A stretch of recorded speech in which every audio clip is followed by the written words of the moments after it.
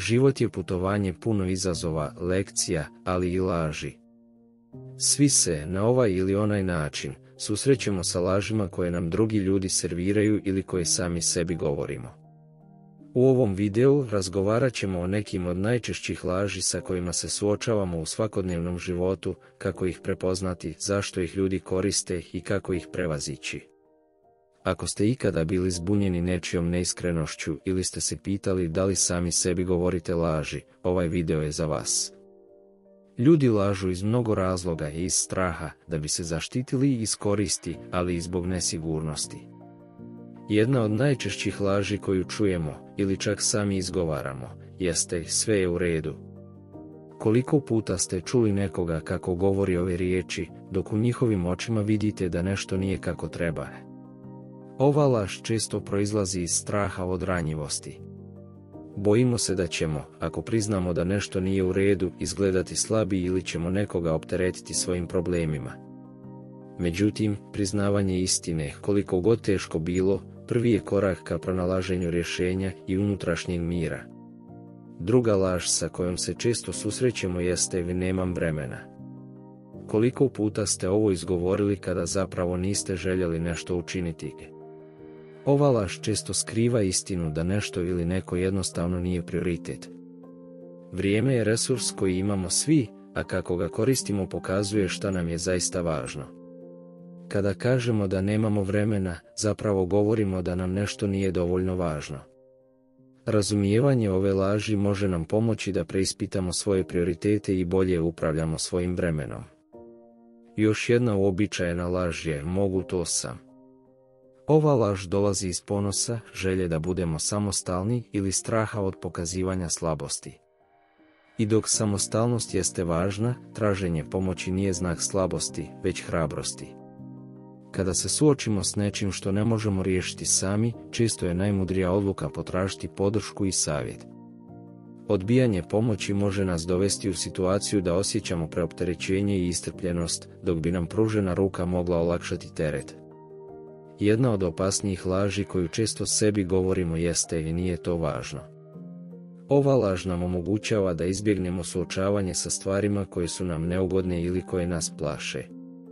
Možda osjećate da vaši snovi i ambicije nisu vrijedni truda ili da neki odnosi nisu vrijedni borbe. Ali, kada umanjujemo vrijednost nečega što je važno za naše srce, gubimo kontakt sa svojim pravim ja i onim što nas zaista čini sretnima. Ponekad, laži dolaze u obliku bijelih laži, koje izgovaramo kako bismo izbjegli povređivanje osjećanja drugih. I dok ove laži na izgled mogu izgledati bezopasno, mogu stvoriti udaljenost u odnosima. Istina, koliko god bila bolna, često je najzdraviji put jer gradi povjerenje i autentičnost u odnosima.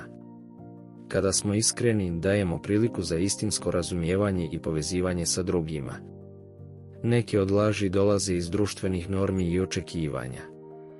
Moram biti savršen da bih bio voljen ili moram raditi naporno da bih bio vrijedan su laži koje se ukorijenjuju u našim mislima od ranog djetinstva.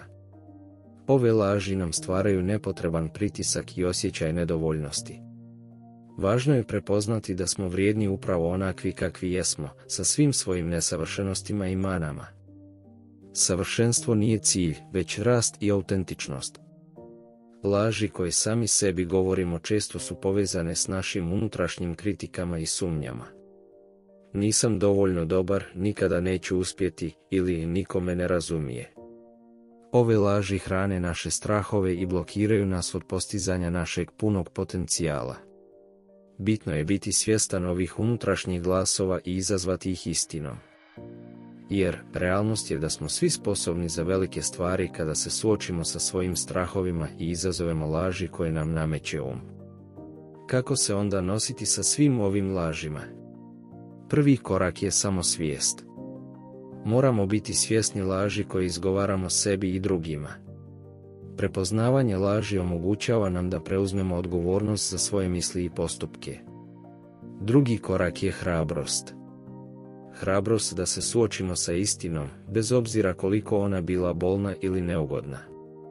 Treći korak je odlučnost da živimo autentično u skladu sa našim pravim ja i da prihvatimo sebe i druge bez osude. Na kraju, laži su dio ljudske prirode. Svi ih koristimo, svjesno ili nesvjesno.